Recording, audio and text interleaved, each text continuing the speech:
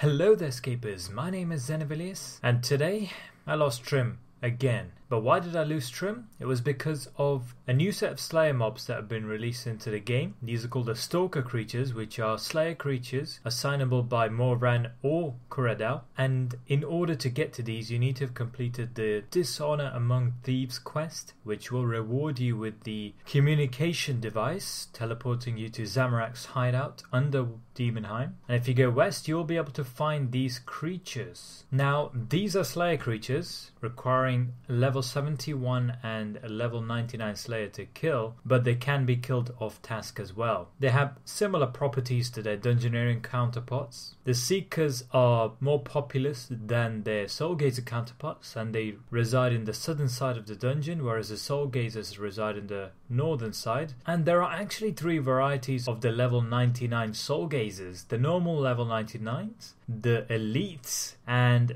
the uh, very rare Veil Ripper Ozaraka. I think that's how you pronounce it. All three require 99 Slayer to kill, but they have different HPs. And this picture of the Veil Ripper is thanks to Aaron, who I believe was one of the first people to kill one of these. And also to find out that these have a 100% drop rate of the real life version, if you like, or the non Daemonheim version of the Hex Hunter bow, the fabled Hex Hunter bow back in the day. What are the other drops of these monsters? Well, the Seekers drop something called a Seeker's Charm and an Essence, and the other three also drop the Essence, but also something called a Soul Gazer's Charm, which is a pet, a Slayer pet, as well as the Hex Hunter bow, which is unique to the Soul Gazers and their equivalents. However, the only unique item to the Seekers is the Seeker Charm. What does the Seeker Charm do? Well, it's got a very interesting mechanic. It's tradable, and uh, you can only get it from Seekers. But if you throw it into the portal in the north, you can increase your chance of an elite Soul Gazer spawning and also the chance of a Veil Ripper spawning at the rate of this chance occurring for 10 kills per Seeker Charm thrown in there, which is an interesting mechanic, I suppose. But the more interesting mechanic is that the Veil Ripper, because it's super rare, is guaranteed to drop the Hex Hunter bow when it does drop it. And if you are lucky enough to do it, make sure you don't die your telly away. It's got 150k HP, but the chances are you'll probably be fighting the elite soul gazers more often. And in fact, they've purposefully made these elite soul gazers more common to kill. Talking of killing, the best method is to use ranged, since their weakness is arrows, so they have an affinity of 90 against arrows, whereas the next best is some other type of ranged, for example, bolts or thrown weapons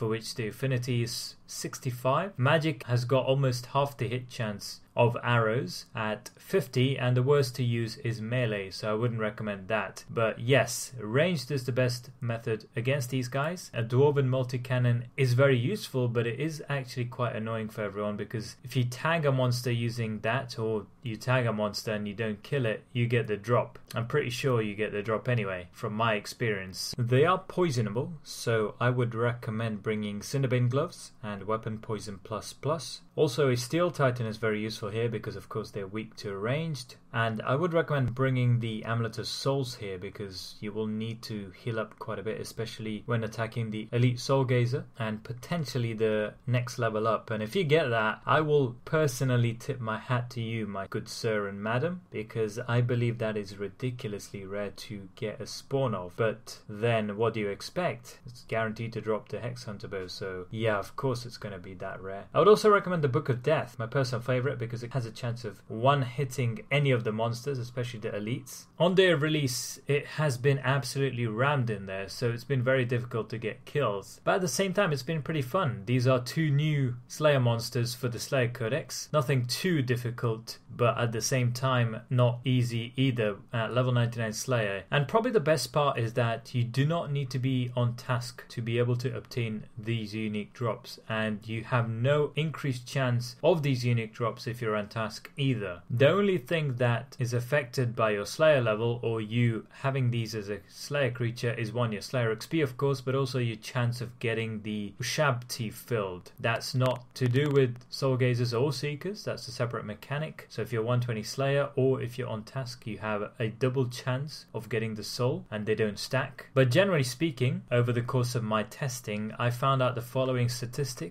so with the Seekers, it turns out you can get around 150k range XP an hour. I wasn't particularly efficient here, so you can push it up to 200k if you want, and that translates to about 95 to 125k Slayer XP an hour if you're on a Slayer task, which translates to about 220 to 290 kills an hour of the Seekers with the Dwarven multi-cannon. For the Soul Gazers, well, it's a lot higher, shall we just say, 250 to 350k range XP an hour, and that translates to about 130 to 100 180 kills an hour. However, this varied enormously based on how many people there were and whether people were using a Dwarven multi-cannon. I suppose if you do use a Dwarven multi-cannon, which I didn't at Soul Gazers, you will probably increase this number a lot more, as well as the Slayer XP rate to well over 400k, pushing 500k even if you are the only person there and you aren't being crashed and so on. I also managed to get the Seeker Soul, which was nice, but I did not manage to get the Soul Gazer Soul, not yet anyway. Hopefully I'll get it fairly soon. I didn't manage to get a Veil Ripper spawn, and neither did I get a Hex Hunter bow as a result. However, I believe one of the first people to sell it sold it for a whopping 337 mil, which is pretty crazy, just one bill away from that magical 1337 mark. But back onto the harsh realities of the unlucky many, not the lucky few. Although the price checker says I got only about 470k in drops from 100 Seeker kills, the fact of the matter is that the Seeker charms, which incidentally I had to buy 8 of, even though I got 11, I only picked up 3. Why? I don't know why. It's so hard to spot them. That's why. It's so hard to spot them on the ground. But anyway, 11 of them. So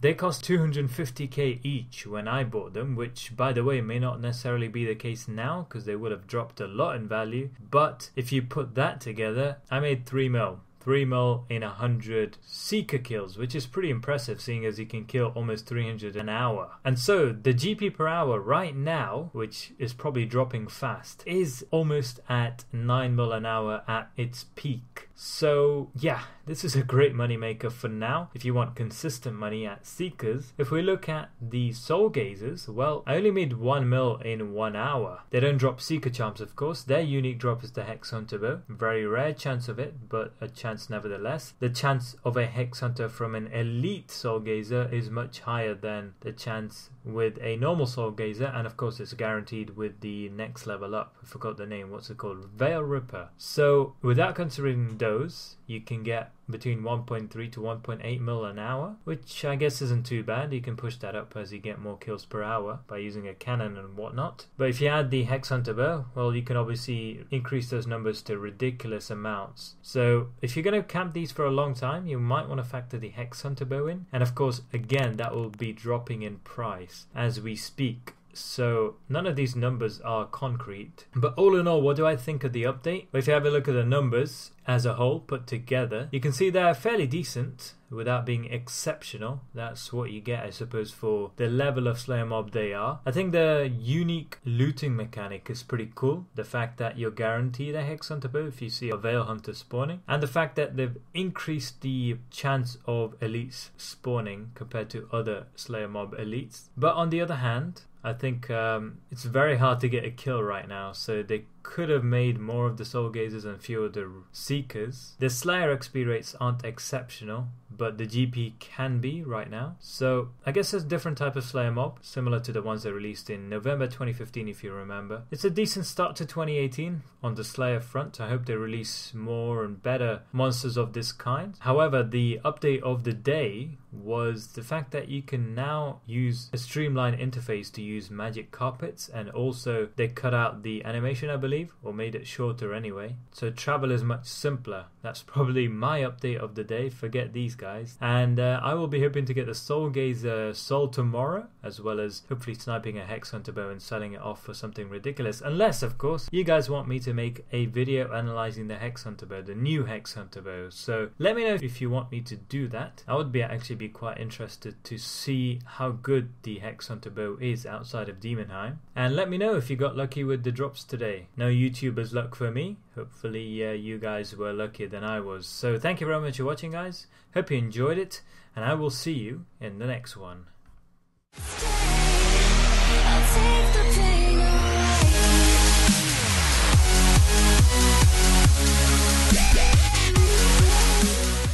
LOL.